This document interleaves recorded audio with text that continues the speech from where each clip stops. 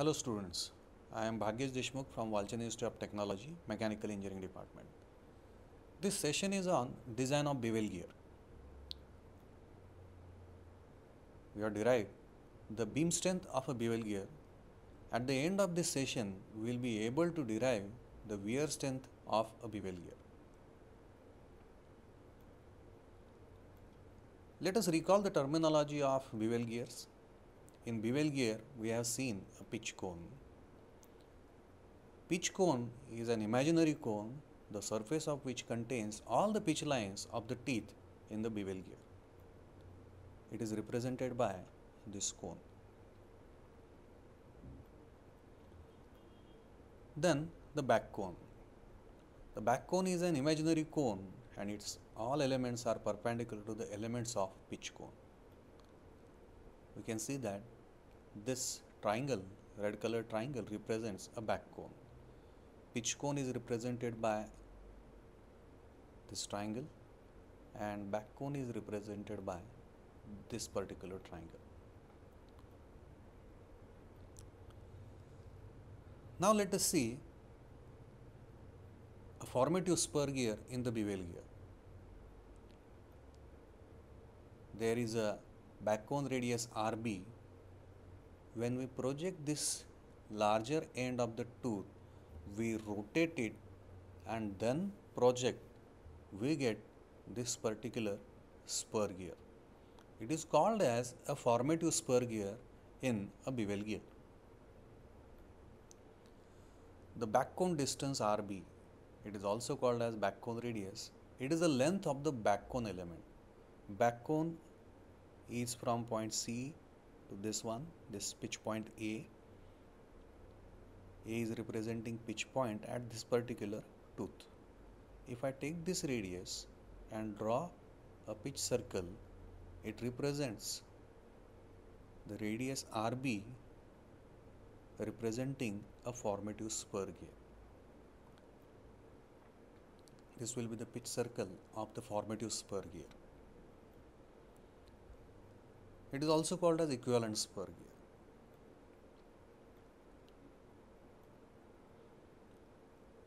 This is the real dimension available capital D which is of the bevel gear.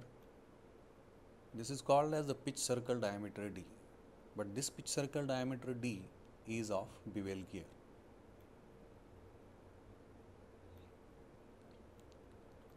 Now cone distance.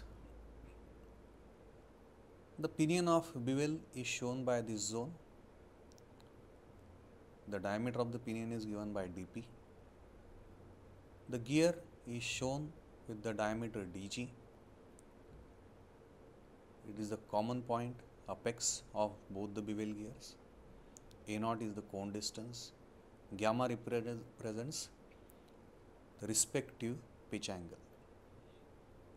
The formative number of teeth for a bevel gear are given by z dash equal 2 rb upon m. The actual number of teeth on the bevel gear, I need to take the actual dimensions. Z is the actual number of teeth on bevel gear, D is the actual diameter of bevel gear and M is its module. I need to divide these two equations in order to establish the relation between Z dash and Z. Z dash upon Z is hence equal to 2RB upon D. What we did over here is we have established a relation of formative number of teeth, actual number of teeth, radius of formative spur gear multiplied by 2 represents the diameter of the spur gear or the formative spur gear and capital D represents the diameter of actual bevel gear. Now let us do this construction. OC is the line, then AB is joined and point A is joined to C.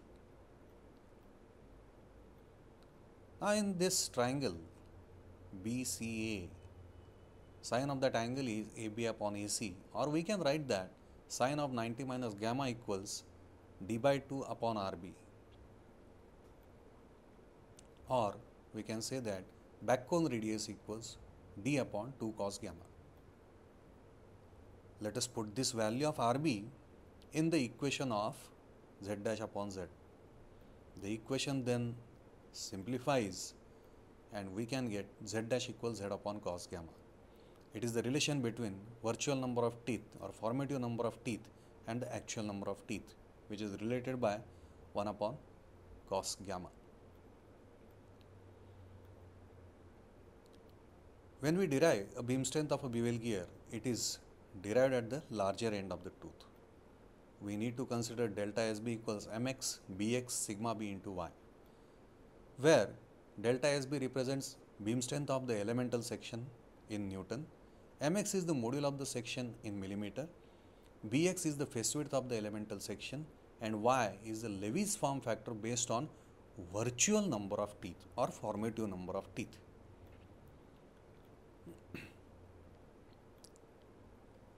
The torque it is obtained as mb sigma b y into r into bracket 1 minus b by a naught plus b square upon 3 a naught square. What we will assume that beam strength SB is the tangential force at the large end of the tooth and hence MT equals SB into R. From these two equations, what we can obtain is SB equals MB sigma BY 1 minus B by A naught plus b square upon 3 a naught square. However, we know that b equals a naught by 3. Therefore, this last term in the equation of SB, it will be never having the value more than 1 by 27. Hence, we neglected it.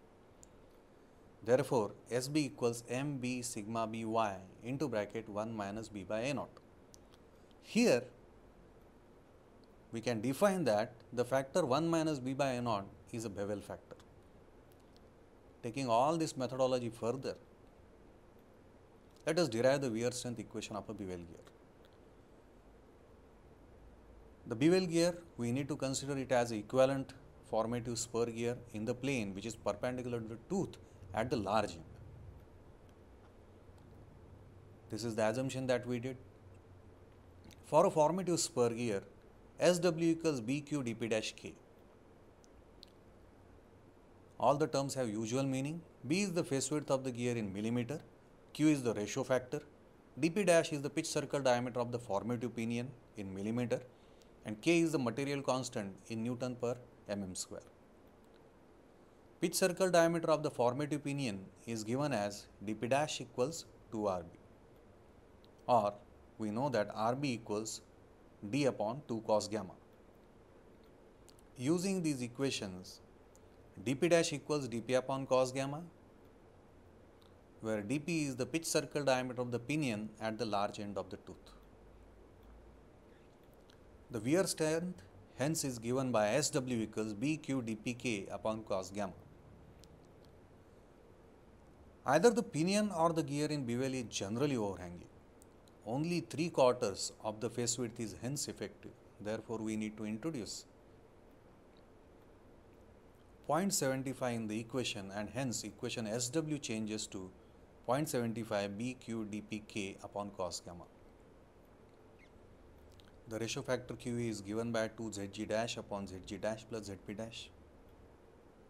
K is given by 0.16 BHN upon 100 bracket square Q can be also obtained by 2 Zg upon Zg plus Zp tan gamma. This represents actual number of teeth on bevel. As we have seen that there is a lesser contact available in the face width, therefore mounting methods of bevel gears are established. First is overhang mounting of both shaft of pinion, shaft of gear. Support is given at only one end of the shaft. There is no support beyond the gear zone here. There is a straddle mounting of either pinion or gear. One can be having two bearings as shown, one bearing on one end, another bearing as like overhang. But additional bearing is used which support this shaft and deflection can be avoided for that shaft. Definitely it is going to contribute to the cost. Therefore, designer has to design in such a way that overhang mounting method shall satisfy the design requirements. but sometimes we need to restrict the bending of the shaft. Third method is both pinion and straddle for gear also. Shaft of pinion, shaft of gear. First two bearing represents overhang mounting of both. Now this represents, straddle mounting of pinion Another bearing is used on the shaft of the gear so that gear shaft is also mounted as straddle. There is very least chance or no chance to bend the shaft.